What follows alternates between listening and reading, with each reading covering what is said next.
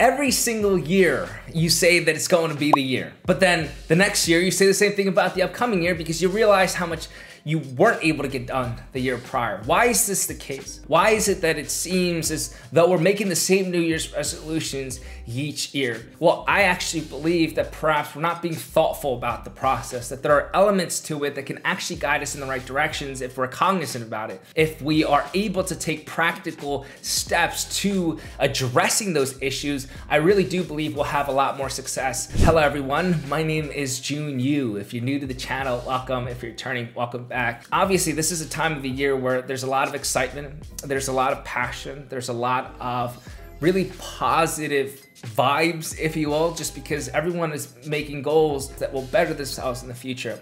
But how can we sustain that level of happiness and excitement into March, into April, into August, and then the end of the next year, how can we actually achieve our goals past the emotions that are heightened in the first few weeks? That's the real question here, and that's what I want to address in this video, and I think that hopefully I'll do a good job of it. So please, of course, leave comments below, ask me any questions, tell me if I missed anything, so I would love to have a conversation with you, and of course, give this video a thumbs up and subscribe. With that being said, sit back, relax, and enjoy the video. Number one, have a plan. As obvious as that might sound, you would be shocked, if we're being honest with ourselves, how often it is that we're tempted to just create the goals and never take the additional steps of outlining a plan for us to achieve those goals. And you might ask why, and I believe the answer is because that's probably the hardest part, aside from the fact of actually executing it, but a big part of executing it is the planning. It's how can you create a plan that's thoughtful? How can you create a plan that's practical and effective? How can you create a plan so that you can withstand the distractions of the world as we know it? If you think about the, the reality of the world, a lot of people make the same goals, right? So there are fitness goals. They want to be in the best shape of their life. So they'll go to the gym an X amount of times. Or maybe it's a career goal. Maybe it's a certain promotion. Maybe it's something related to their personal life in some form of or aspect. Why is it that only select few individuals have progress on the goals year after year? and the rest of us are stuck making the same ones?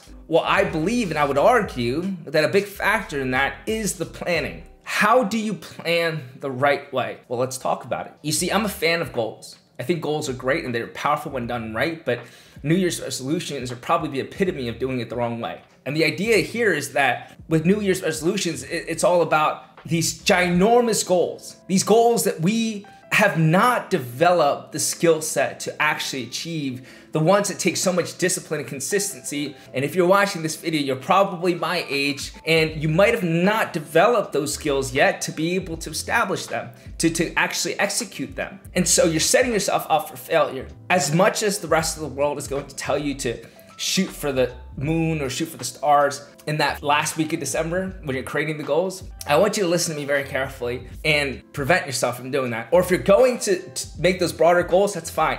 Take this additional step. Think, what am I gonna do in the first two weeks of January? Seriously, just the first two weeks of January. And be detail oriented with how you're going to approach that plan. Be practical, okay? So if the idea is you want to be fit. That's your broader goal, and you want to gain 20 pounds of muscle by the end of 2024. That's a ginormous goal. In the first two weeks, the idea should be how do I get myself to go to the gym frequently? Yeah, probably going five times a week right off the bat is not very likely for me. I might be able to be successful and the motivation is high for the first few weeks, but I know that I'm gonna burn out because I wouldn't have developed the actual discipline, the routine that comes along with it. And so, you know what? All I'm gonna do for that first week is just do at home workouts. I haven't trained consistently before. So, before I take that additional step to go into a gym consistently, I wanna make sure that I can actually get my body to move on a consistent basis.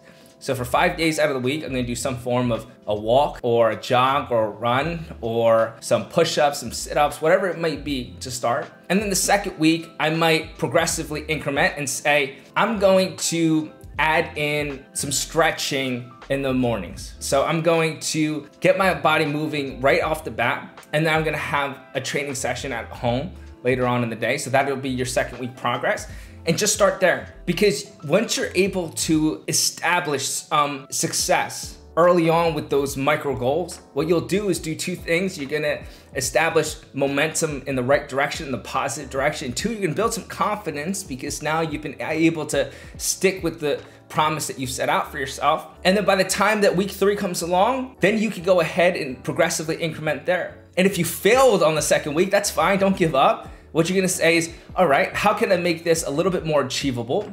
How can I go back one more layer and make another micro goal for myself? have a really successful first week and second week of January with all your goals, and then you can start to incrementally progress over it. You see, what that's gonna train you to do is focus on the details, focus on creating a practical plan for yourself. And you'll get better and better with this with more effort and with more practice. And so you're gonna get a better awareness of who you are and your tendencies by month two. But throughout that entire process, you're practicing how to create these plans, and it's gonna go a really long way for yourself. So have a plan, but do it the right way. Number two, discover your purpose. You see how I didn't say find motivation or find your inspiration? Because that's bogus, okay?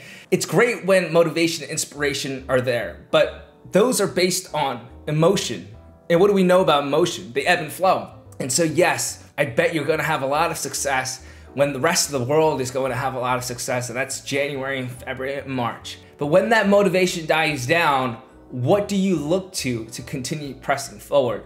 And I believe that's your purpose, right? We know that perspective drives your performance. So, what is your perspective on? How are you viewing what it is that you're doing? That's so important. And so perhaps it's something related to your family. Perhaps it's something related to your faith. Perhaps it's something related to an ambition that you've always had. Perhaps it's something to do with a relationship. Perhaps it's something to do with some financial goals. Whatever it is, all I ask for you is to make it about something bigger than you.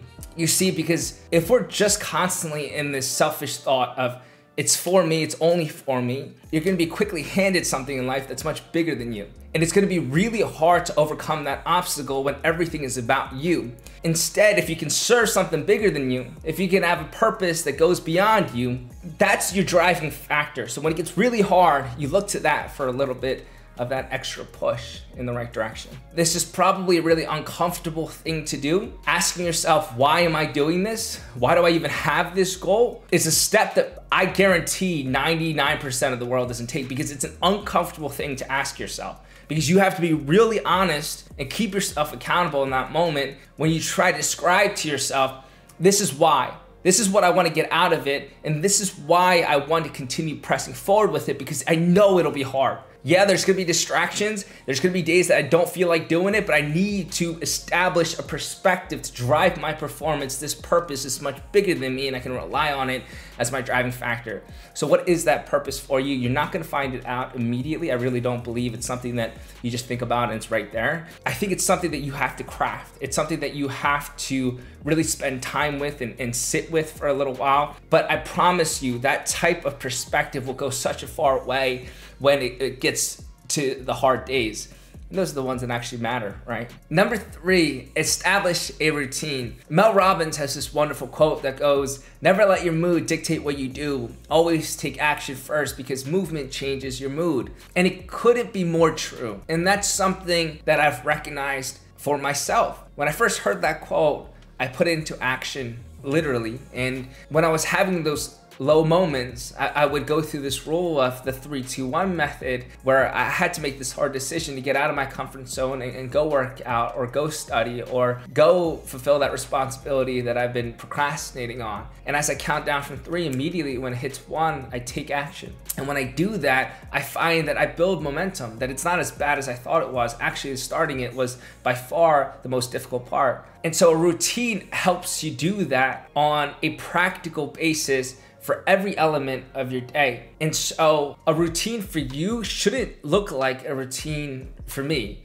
right? Because we're different. We have different needs, we have different days, we have different desires in general. It's important that you find out okay, here is a list of priorities for me, here's a list of things that I want to stick to. I want to create a routine, one that's practical, one that is something that I can actually live by something that's not gonna feel like this incredibly difficult thing to stick to, right? I, I, think that sometimes people make those 20 step morning routines. And it's like, how likely is it that you're going to stick to those 20 things on a daily basis? Think about that initial friction to just trying to practice a 20 step routine. Yeah, probably not likely. Can you have perhaps a four step morning routine, a three step morning routine? Can you have a night routine? Can you have a way of winding down that you can stick to on a daily basis so you can train your mind to know, okay, this is the time that I need to get to bed because I need some quality rest? Is there something that you can put in for yourself so that right after school, when you probably just want to go to sleep and not do anything and then you are mad at yourself by the time the night comes around. Can you integrate something right when you get home? Or maybe you don't even go directly home you go somewhere else to do some work.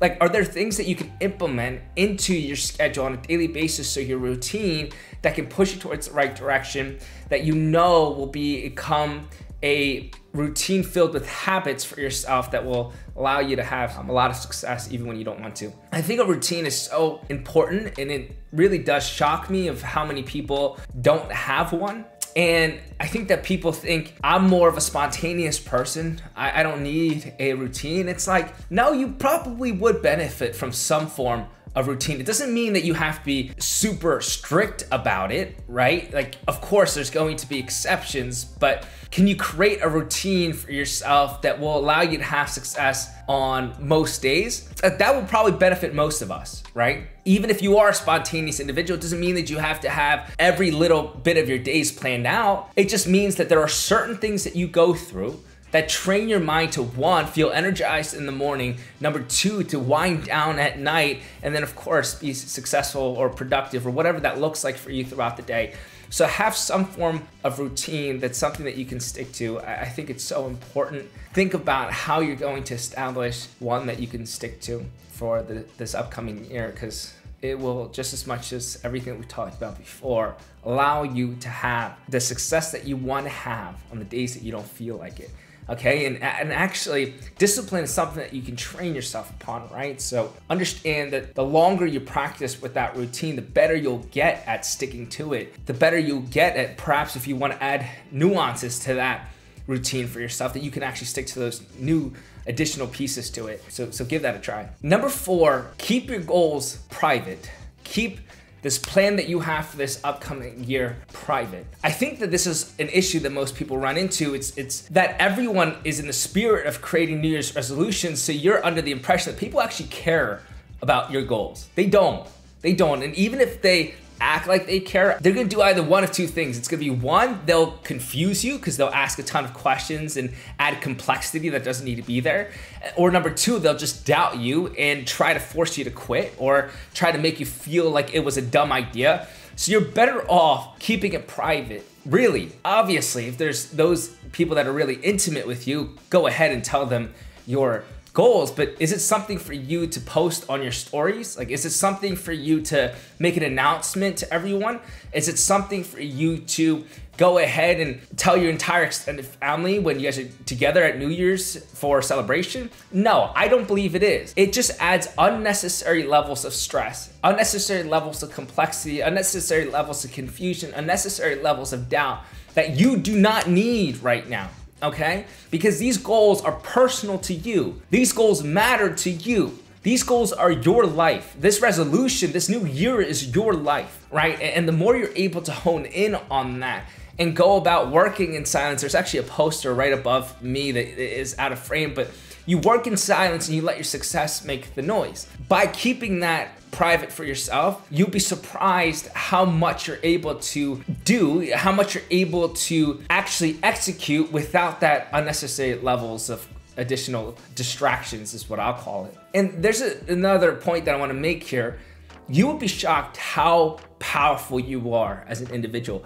I used to be the type that would wait on other people to agree with my ideas to help me with a certain initiative before ever starting it because I constantly doubted what I was capable of doing. But the reality of the matter is, the better I got at just starting, no matter how much I was lacking, and just giving it my best effort and learning as I go, the more I realize, yeah, I'm actually able to get a lot of this done. And all of that experience becomes legitimate experience that I can count on for difficult moments in the future. I was able to actually develop a skill set that was high value for other initiatives in the future. So have confidence in yourself. You don't need anybody right now to, to help you with whatever goal you got.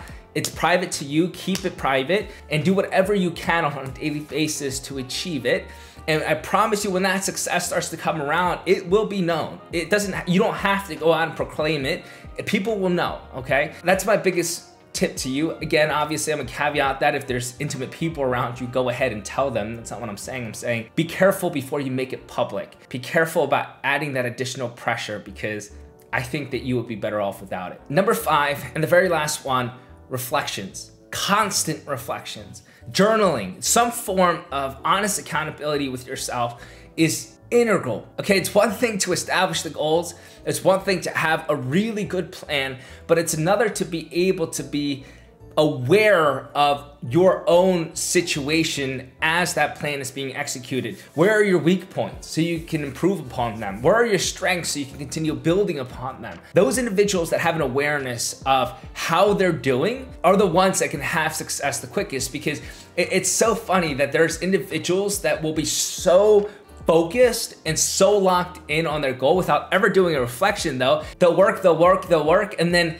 months down they look down or years down they're realizing I didn't even want to be here. Like why am I here? Like yeah, that was a lot of hard work, but I don't even like where I ended up. Having that reflection allows you on a continuous basis guide you in the right direction. You can ask yourself, okay, am I being fulfilled by the process? Am I, what am I doing wrong? What am I doing right? What am I able to learn? What am I able to ask help for? What am I able to do to enlarge my perspective so that I can perform better? Like, what are those reflection questions that you ask for yourself so that you can be constantly steered in the right direction? Again, this world is filled with distractions as it is. And if you're not doing those reflections to check upon yourself, there's a good chance that you'll be headed in the wrong direction.